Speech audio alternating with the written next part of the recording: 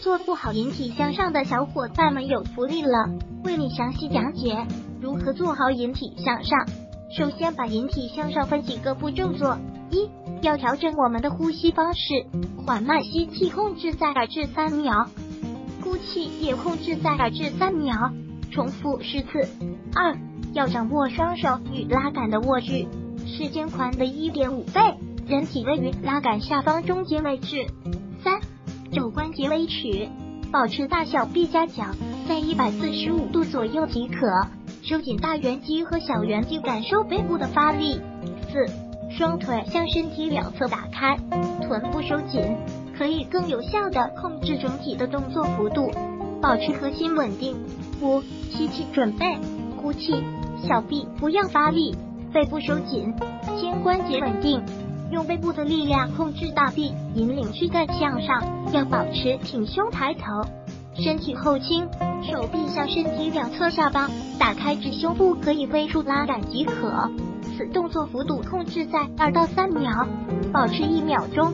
六，吸气，背阔肌发力，控制大臂，将躯干缓慢下放至大小臂夹角，在一百四十五度左右即可。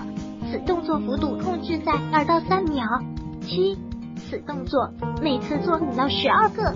每次做四至六组，每组中间要调整呼吸方式，缓慢吸气，控制在二至三秒；呼气控制在二至三秒，重复五到十次即可。八、注意事项：要保持匀速呼吸，控制动作幅度，肩关节稳定，大小臂的夹角，保持挺胸抬头，坚持有规律的做引体向上，让你拥有虎背熊腰。更能显示出一个人的精神面貌，整体的霸气胸怀。特别是针对腹部体质较高的人群，练好背部的力量，对接下来腹部的改善将会是事半功倍的效果。增强背部的力量，也会巩固我们腰部的健康和力量。朋友们，你们想拥有六块腹肌吗？想有一个好腰吗？想有一个霸气的背部到三角吗？那就一起做引体向上练背吧。加油！我们开了线上训练营，可以和我们一起学。如果喜欢本视频，请分享并订阅本频道，访问 T T News 点 X Y Z 获取更多相关资讯。